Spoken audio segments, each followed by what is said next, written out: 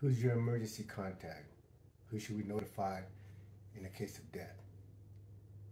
Welcome to the USP, where I spent the last 25 years of my life.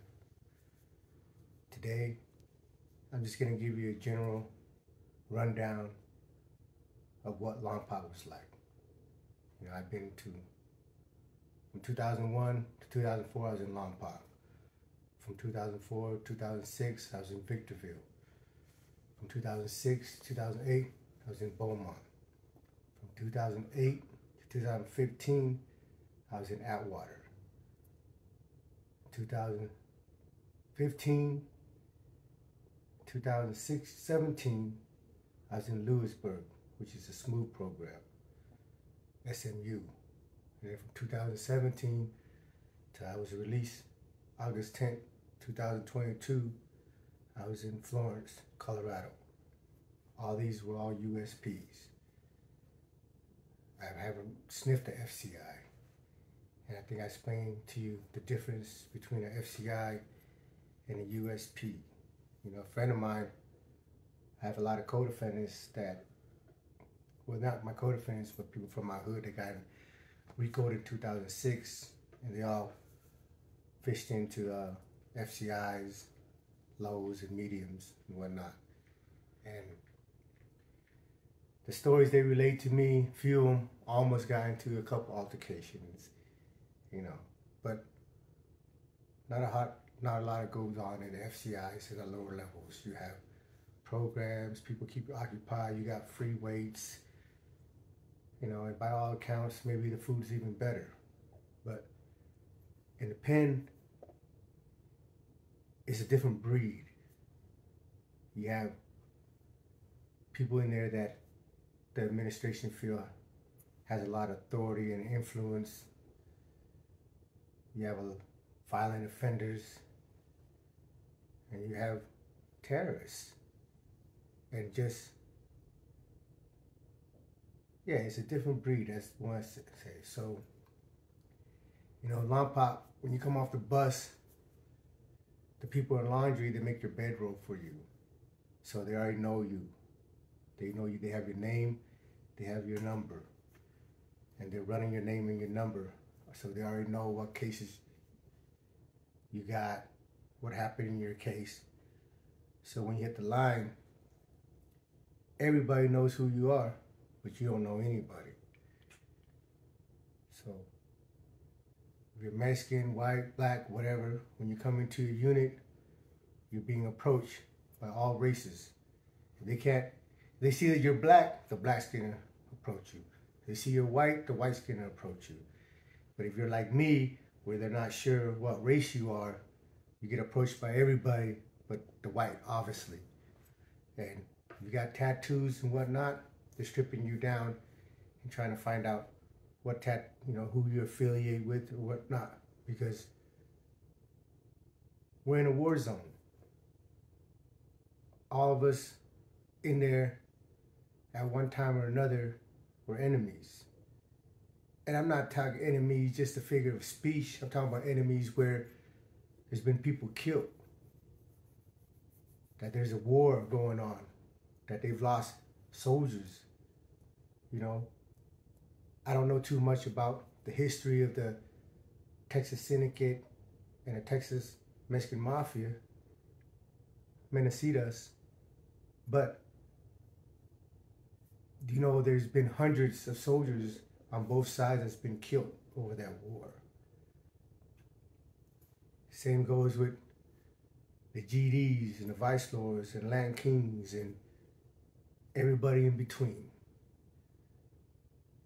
But when we're in prison, we're forced to coexist amongst each other.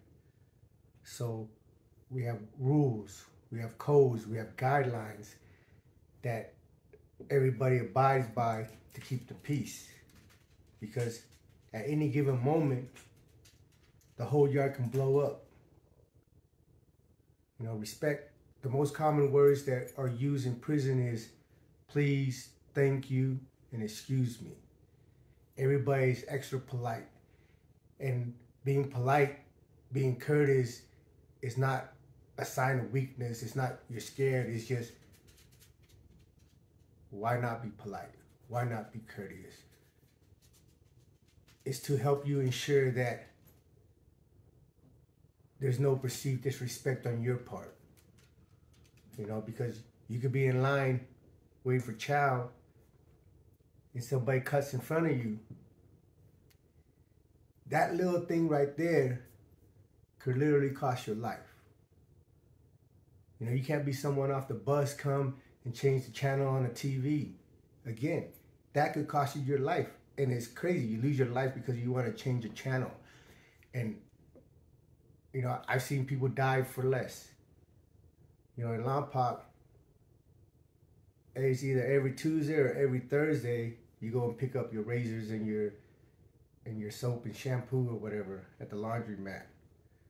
Well, there's a corridor that you walk to to get to the laundry, and then there's a blind spot right before right right before you get to the laundry window.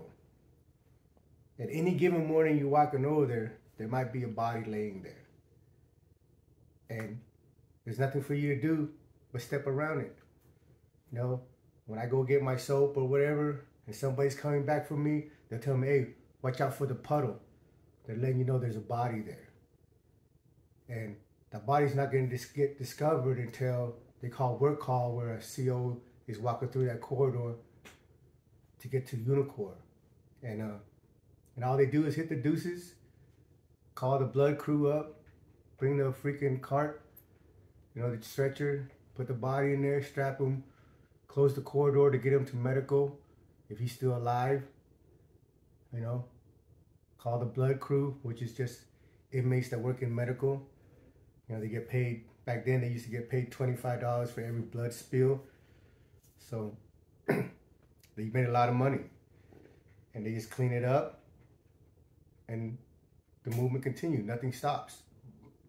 Back then. Now everything, anytime a little, anytime something happens, we get locked down a lot the last 10 years. But when I first fished in, nothing stopped the prison. You know, and you know, they had an incident over there where this native, he had stole something from the Rastafarian. Stealing in the penitentiary is an automatic death penalty. They don't care if you stole a book of stamps or somebody's dope or the magazine. Stealing is the quickest way for you to get chopped up. You know, on this incident, they had a Native American. He stole, well, he stole something out of the Native American. I mean, he stole something out of Rastafarian. I don't know what it was, but I, I'm only privy to the information because my buddy Mike, the one that had the yard for the BGF, that's their religion. Rastafarian. So, you know, on the course through the course of us working out, he confided in me, say, yeah, when hit, you know, they approached the Native Americans saying, hey, this dude stole something from us. And, you know, you can't just accuse somebody of doing something unless you can prove it. You can't call anybody a bitch.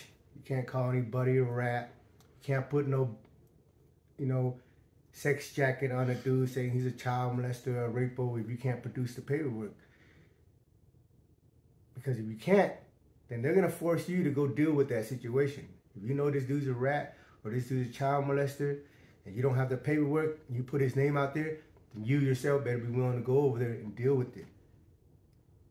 but if you produce the paperwork, then it becomes a community's pro- uh, responsibility for whatever respective group you're in and they politic and they always have people in line that to carry out the next hit.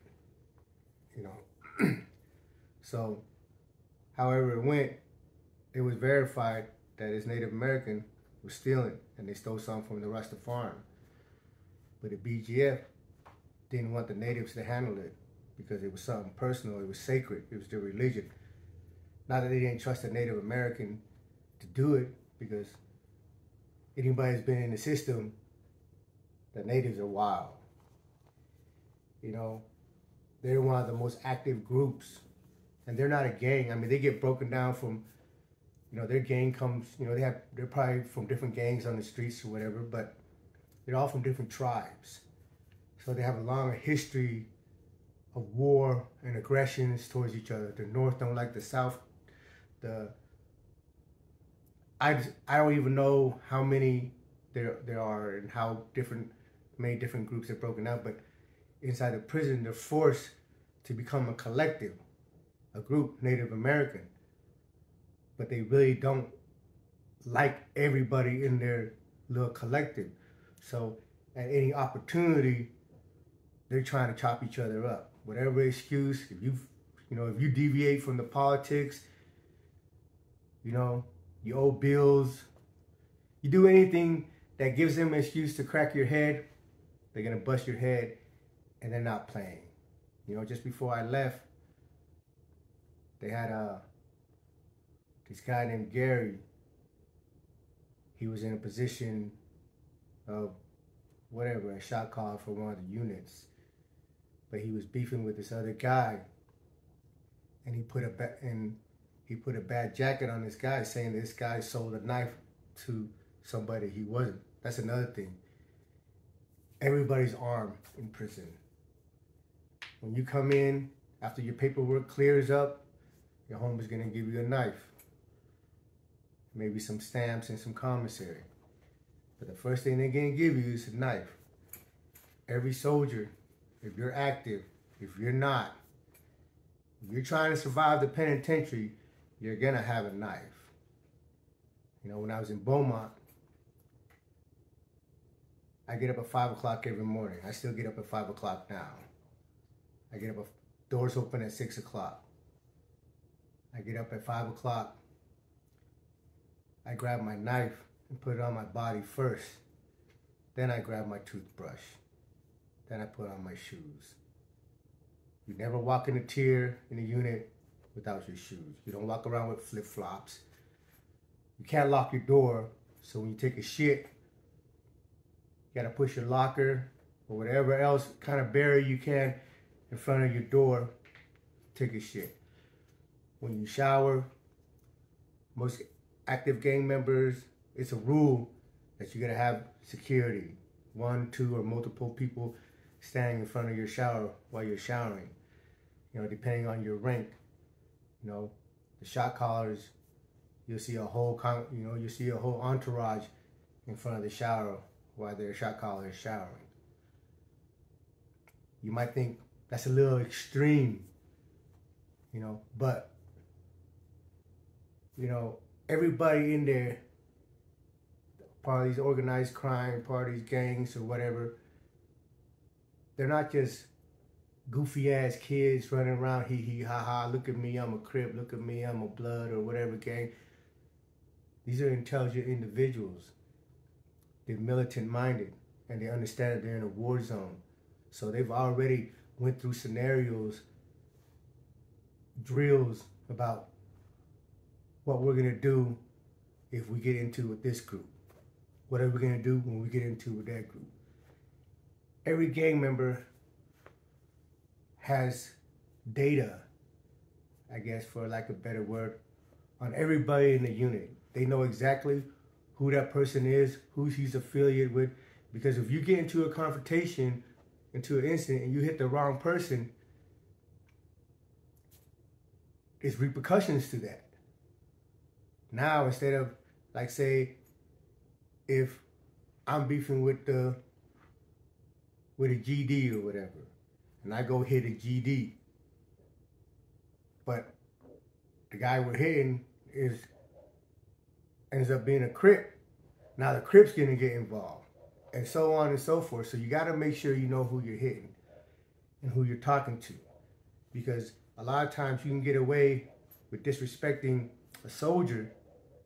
They might give you a pass. You might be able to mediate it and walk away.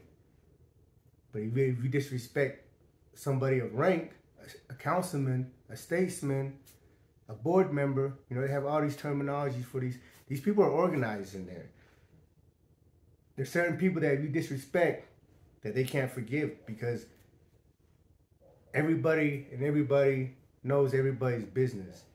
And if you're allowed, if you're known that, and if it's known that you allowed somebody to disrespect you, your status is going to drop. And if you don't have the respect for the people around you, your group's going to have hell. So back to the Native American that stole. You know, Mike was telling me, he said, hey, he didn't want the natives to take care of it. They knew the natives would go and take care of it and punish the dude, but he wanted to make an example. So they spoke with whoever spoke for the Native Americans at that time in Lompoc and end up Kamau and this kid from Detroit. He was a prospect for the BGF, but Kamau, he's like 6'4", 6'5", yoked up. Um, the kid from Detroit, they could have been twin brothers. You know, you always see him out in the, yard working out from sun up to sundown. Anyway, they hit the Native American. You know, that morning, you know, when we were going to go pick up our soap or whatnot, people was coming back. Hey, there's a, watch out for the puddle. Watch out for the puddle. You know, they locked him up. You know, you can't really get away with it unless it's in a cell. But everywhere else, they got cameras. So they locked Kamau and the guy from Detroit up for it. This Native American, they broke almost every single bone in his body. Like when I say that, I literally mean that. Like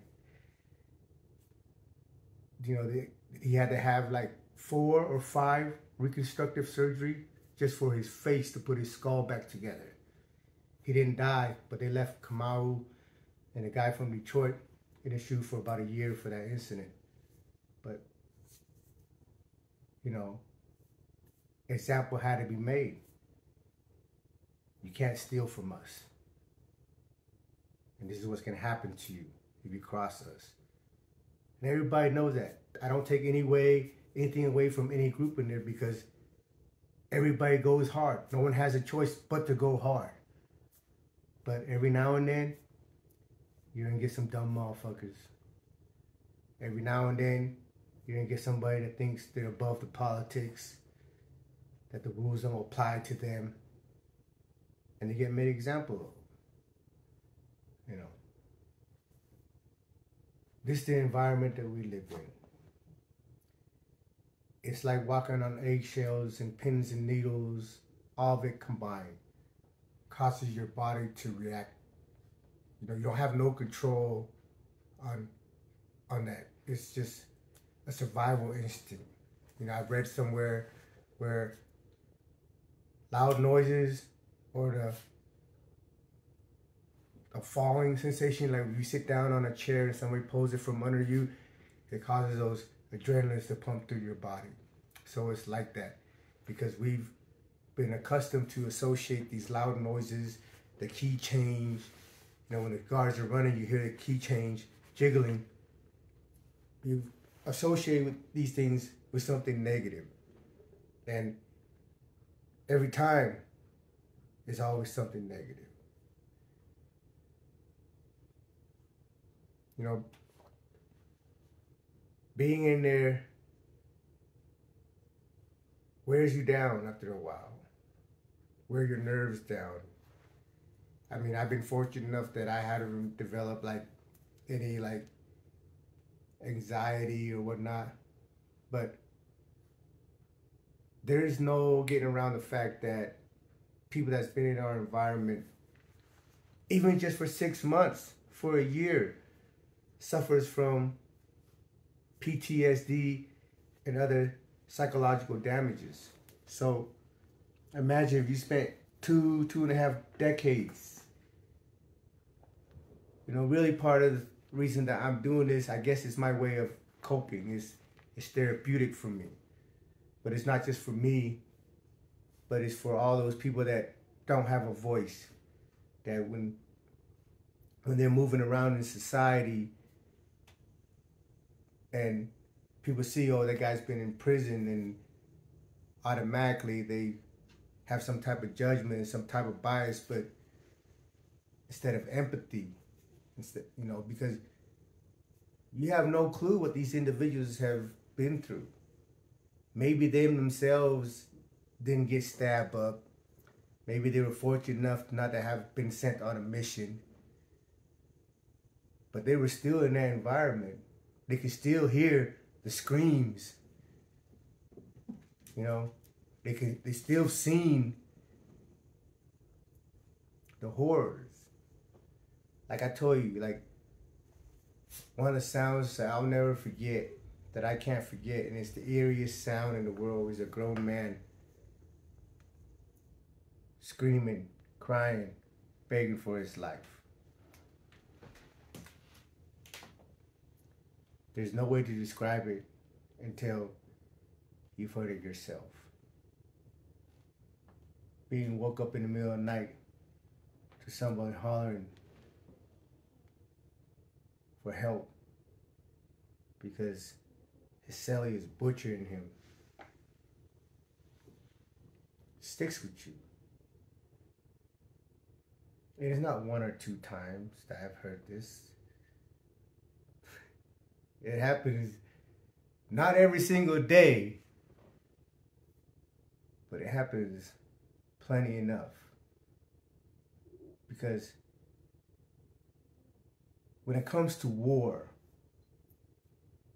because I mean, there's no other word that I can describe what it is. There's no rules, man. The only rules is win. And the only motherfucker that complain about the rules or this guy did this that was unfair is the loser. Because at the end of the day, you have one obligation, one responsibility, one person to take care of, and that is yourself. So when you engage in a confrontation, you better go into it determined to win. Because I promise you, the other guy is going to try to do whatever it takes for him to win. I saw a video, somebody sent me a video the other day of some dude that was like 270 pounds, weightlifter or whatever, at a casino. And he went and he went and approached another Mexican dude that was like half his size and talking about, oh, let's knuckle up, let's knuckle up. Like, and then the other guy pulled out a knife on him, and the guy, oh, why you got a knife? We, I want to see you heads up.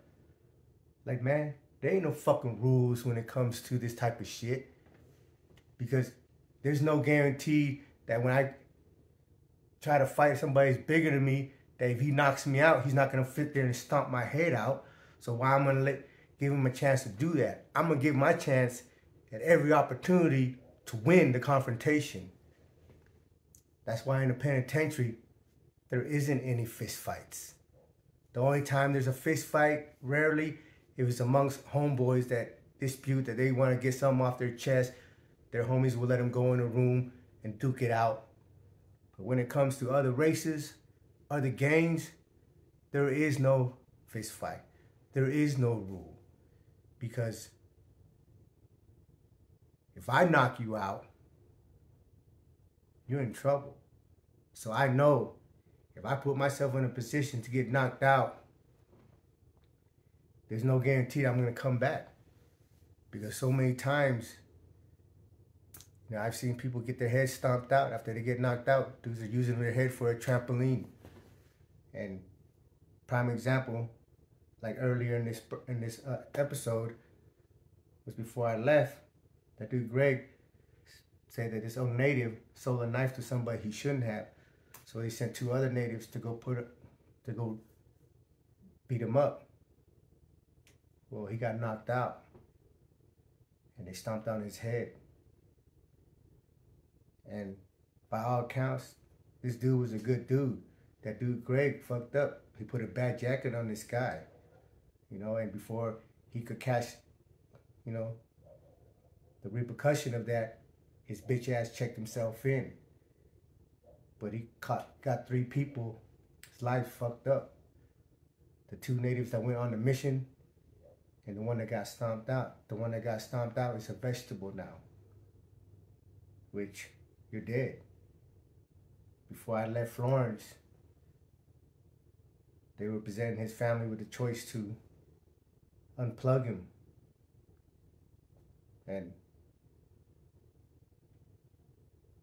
you know, these things that I'm telling you about is not rare and few and far in between. It's constant. You know, like I said, before I left Florence, four people were killed. But how many people in between then that were getting stabbed? That was getting stomped out. You know. So I have a lot more stories and it's only gonna get a little more uh I don't know. But stick around, man. And you're going to realize and get a glimpse of the world, the environment that I've lived in, that others are still in now. Welcome to the USP. Thank you for tuning in.